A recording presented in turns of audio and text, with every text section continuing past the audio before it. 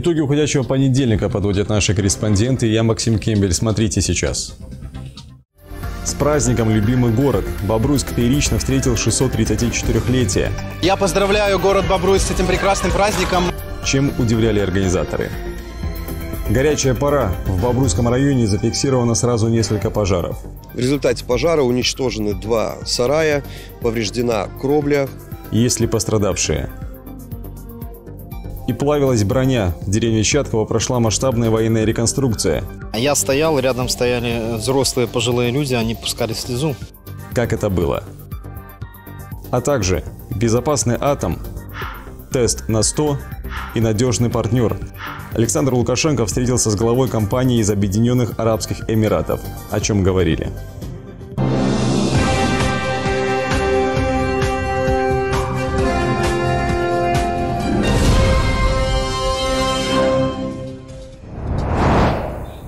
День города с размахом. По традиции в Бобруйске торжества прошли на нескольких площадках. Центральной стала площадь Ленина. Вальс тракторов, фаер-шоу, концерт ансамбля «Песняры» и праздничный салют – малая часть сюрпризов, которые поджидали горожан. Обо всем по порядку. Карина Гуревич.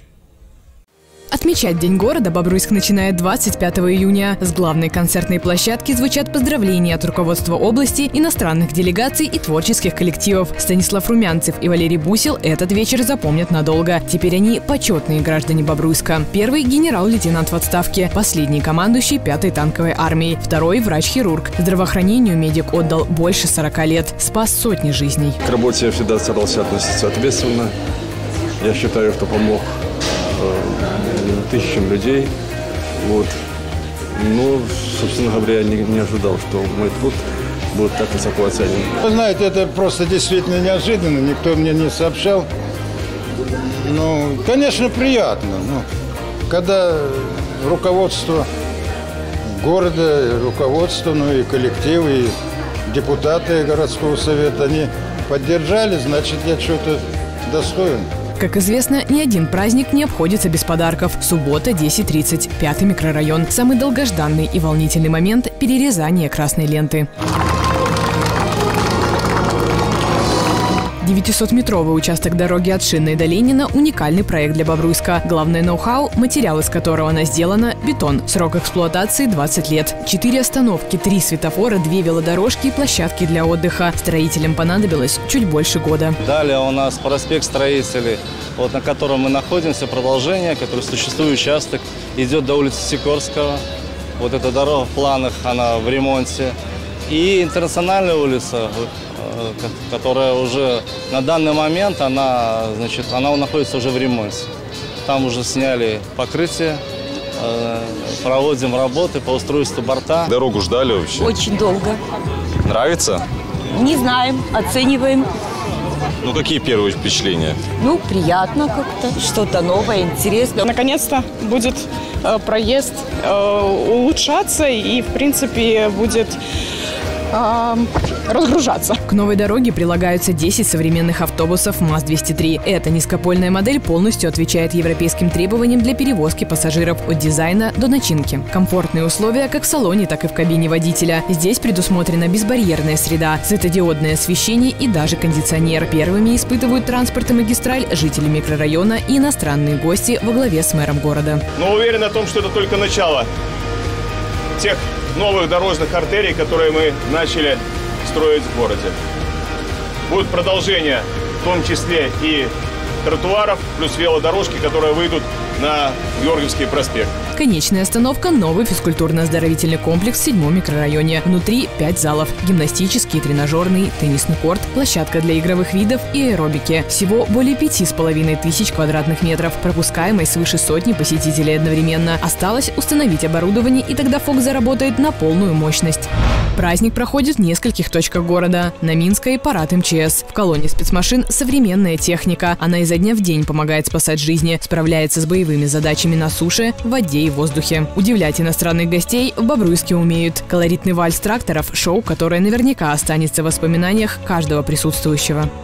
На Горького доносится запах шашлыка. Здесь проходит благотворительная акция «Запрошаем смачно ести». Фишка гастрономического фестиваля – все блюда готовят руководители бобруйских предприятий. На несколько часов они меняют деловые костюмы на фартуки и колпаки. Здесь и гости города. Уже в неформальной обстановке иностранные делегаты обмениваются впечатлениями. Люди чувствуется, любят свой город, его историю.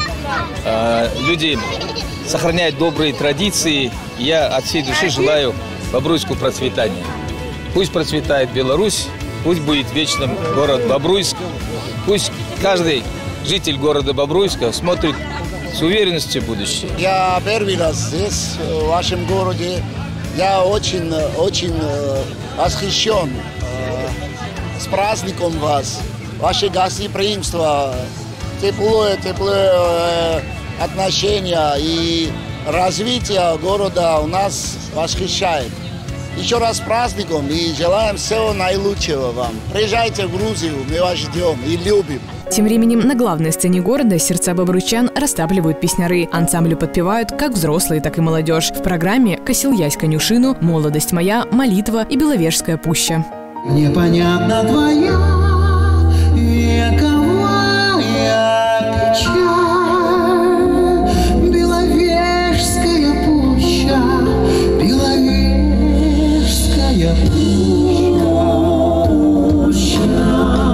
поздравляю город Бобруйск с этим прекрасным праздником. Э, очень хочется сказать о том, что очень красивый, чистый, красочный город, приветливые, приятные люди, очень много красивых мест, заведений. Город расцветает, растет, и мне очень приятно здесь находиться. И нам бы хотелось почаще к вам приезжать. Как вам концерт, как вам программа, которая в городе? Мы подошли вот недавно, и ну прекрасно все. Чувствуем себя замечательно. Ну какие у вас планы еще на сегодня, на ну, посмотреть еще салют. Я в восторге. А, я не была три года здесь. Вообще я родилась в Бобруйске, но 25 лет живу в Москве.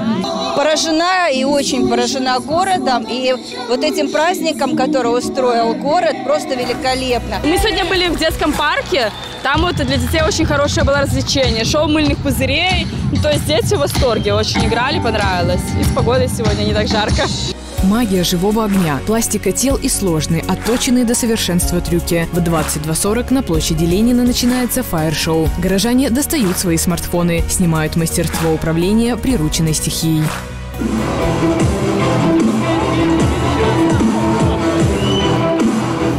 23.00 в небе раздаются залпы праздничного фейерверка. На такой счастливой ноте город завершает второй день торжества в честь освобождения Бобруйска от немецко-фашистских захватчиков. 29 июня – кульминационное событие. В 10 и 11.30 пройдут возложения к памятникам, а в 18 часов на сцене театра имени Дунина Марцинкевича концерт «День памяти». Таким город запомнит 634-ю годовщину. Карина Гуревич, Максим Кембель, Дмитрий Шевцов, Максим Галеонко, Бобруйск, 360.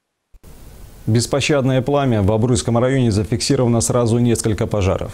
ЧП в деревне Гончаровка произошло сегодня ночью. На номер 112 позвонила мимо проезжающая женщина. Как позже выяснилось, жилище хозяева используют как дачу. Во время пожара внутри никого не было. Стихия могла распространиться на соседние дома. Спасатели подоспели вовремя. В результате пожара уничтожены два сарая, повреждена кровля, перекрытие и некоторое имущество в доме. Пострадавших нет. Причина пожара устанавливается. Еще одно возгорание зафиксировано в пятницу. В переулке Переездном полыхал жилой дом барачного типа. Сообщение в МЧС поступило в 21.30. Здесь пострадавших, как сообщается, тоже нет. Специалисты проводят проверку. Поспешишь, людей насмешишь. Водитель легковушки превысил скорость, в результате чего врезался в дорожный знак.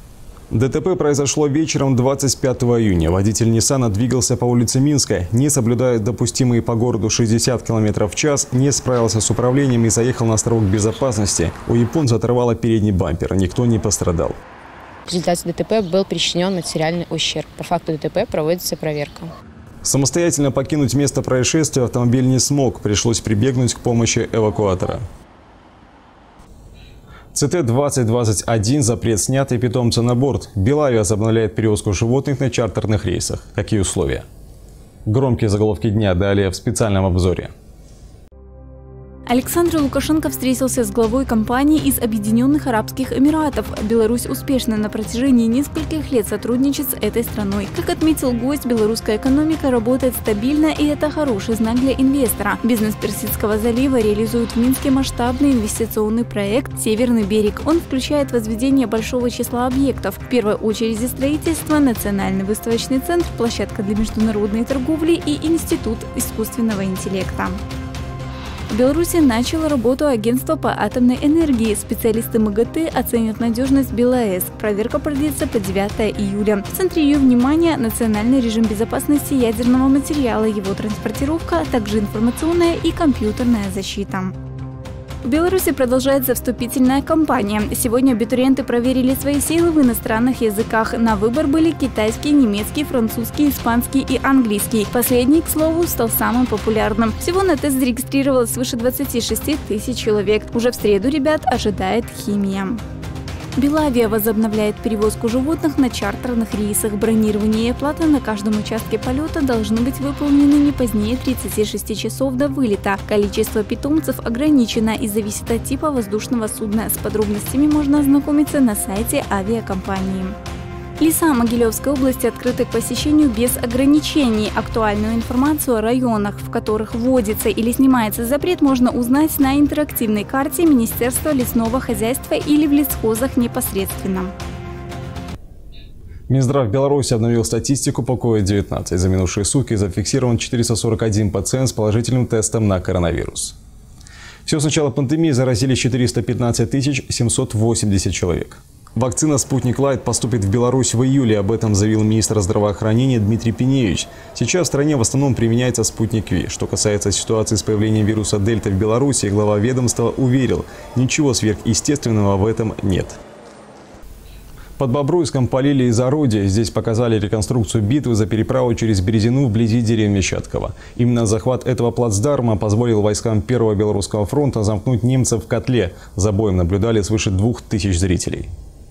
Сегодня, конечно, никто не испытывает страх, но стараются реконструкторы на славу. Максимально подробно показывают масштаб и нерв военных действий. По замыслу на дворе 28 июня 1944 -го. Деревня Щатково уже третий год находится под оккупацией немецких войск. Солдаты и офицеры вермахта ни о чем не догадываются. Советские войска начинают форсировать Березину. Атаку поддерживает артиллерия. Су-76 врывается в село. Завязывается бой. Немцы вынуждены отступать. Советские войска занимают оборонительные рубежи и готовятся отражать контрнаступление врага. Из лесополосы выходят фашисты, пехоту поддерживает артиллерия и танки.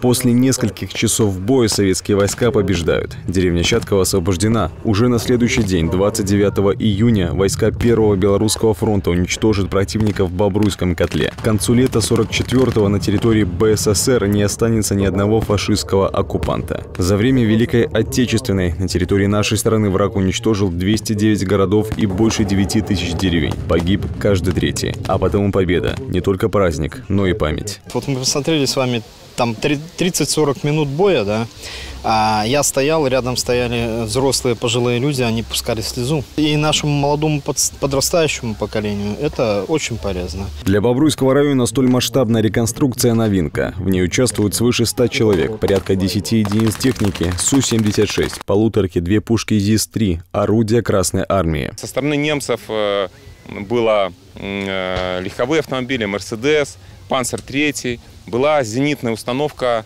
27-миллиметровая э, флаг. Здесь можно сфотографироваться, побывать в военном лагере, забраться на танк и пострелять из пулемета «Максим». Было все как вживую, и ощущение такое, что не хотелось бы там быть. Не хотелось, чтобы это повторилось. Мне понравилось, очень красиво, реалистично. Достаточно информативно. То есть э, отрывки, вот эти вот комментарии, они ну, для меня лично информативны. Организаторы отмечают, в следующем году реконструкция повторится. И пусть кровь на лицах солдат не настоящая, многие усвоили. Война – это страшно. Максим Кемель, Дмитрий Шевцов, Бобруйск, 360. Это все и события к этой минуте. Смотрите нас в интернете и соцсетях. Мы в эфире каждый будний вечер. Счастливо.